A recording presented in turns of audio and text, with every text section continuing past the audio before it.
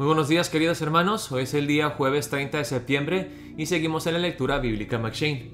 Hoy vamos a leer Primera de Reyes capítulo 2, Gálatas 6, Ezequiel 33 y los Salmos 81 al 82.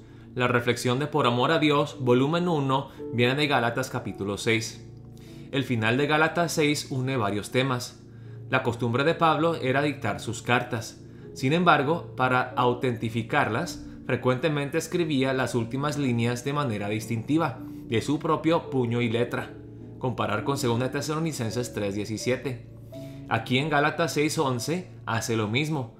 Algunos sugieren que estas letras grandes indican que le estaba fallando la vista. Esto es posible, pero no seguro.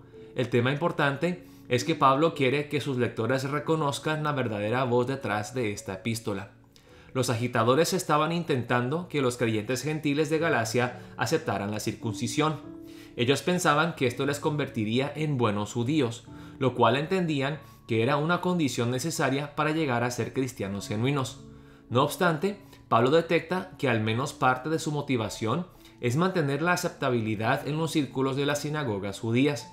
En esta etapa de la historia de la Iglesia, la mayoría de la persecución venía de concilios de sinagogas que ejercían la disciplina. Pablo mismo había sufrido bastante. Los 39 latigazos soportados cinco veces eran un castigo de la sinagoga. Pablo afirma que algunos judíos que se llaman a sí mismos cristianos y que insisten en que los cristianos gentiles se conviertan en judíos, sencillamente se resisten a soportar el oprobio que tendrán que sufrir de parte de ciertos compañeros judíos si sus hermanos más cercanos fueran gentiles que no se sujetan a la ley. No solo eso, sino que la circuncisión era una marca rotunda de fidelidad al pacto. Según Pablo, aquí se encuentra el verdadero problema. Si a los circuncisos se les hace imposible obedecer la ley, ¿por qué intentan obligar a otros a tomar ese camino? Algunos quieren contar los conversos al judaísmo como quien cuenta las victorias de una lucha, pero Pablo insiste en que el cristiano no se jacte sino de la cruz del Señor Jesús. Ese es el único fundamento de nuestra aceptación delante de Dios y nada más. Ni la circuncisión, ni guardar la ley, ni la mesa kosher, ni pertenecer a la comunidad correcta.